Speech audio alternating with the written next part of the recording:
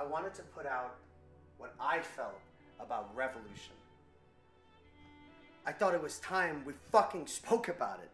The same as I thought it was about time we stopped not answering about the Vietnamese War.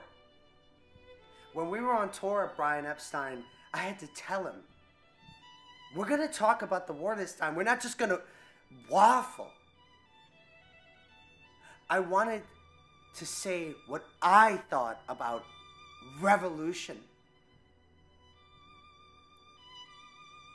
I had been thinking about it up in the hills in India.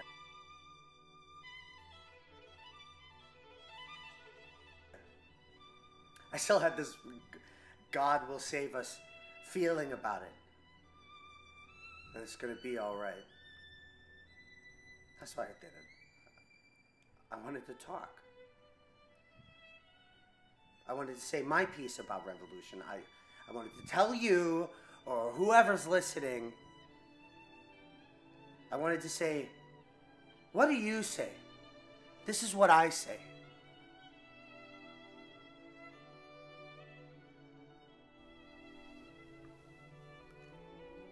Nineteen sixty eight, the student uprising in Paris.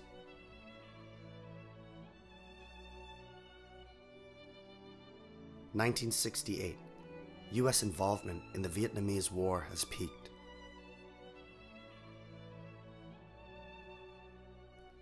Nineteen sixty-eight. Dr. Martin Luther King is assassinated.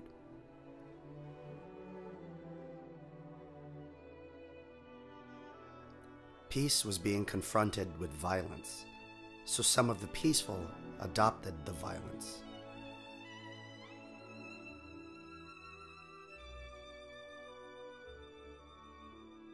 John says, If you talk about destruction, don't you know you can count me out? In, showing his conflicted perspective on joining the protest. As some were chanting, Peace by any means necessary, John responded, Count me out if it's for violence. Don't expect me on the barricades unless it's with flowers.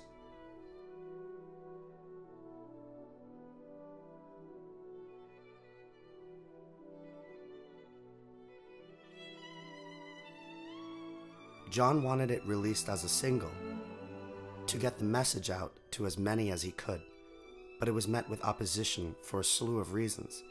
One being George Harrison and Paul McCartney didn't find it fast enough. Hence, Revolution and Revolution 1. In a later interview, John hauntingly responds But the Beatles could have afforded to put out the slower, understandable version of Revolution as a single whether it was a gold record or a wooden record.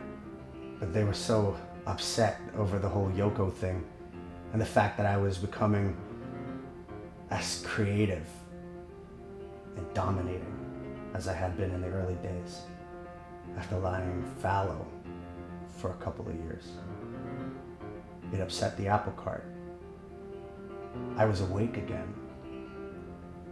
They weren't used to it.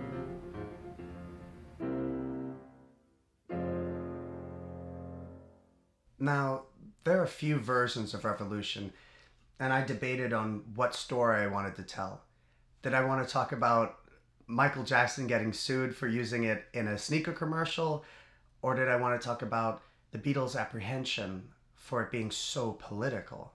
But I really felt to do the song justice, the songs justice, Revolution and Revolution 1, it was imperative to stay on message about peace right? You all must know by now that these aren't some lyrical analysis or what kind of funky music theory deconstruction can we get out of the Beatles songs. We're attempting to take a glimpse into history, into people, uh, character study, see what we have in common, what makes us different, and ultimately what makes us tick.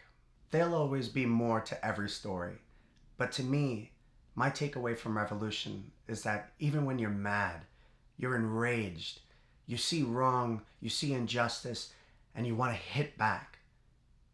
But what you really want is peace. And if what you want is peace, then you got to be peaceful.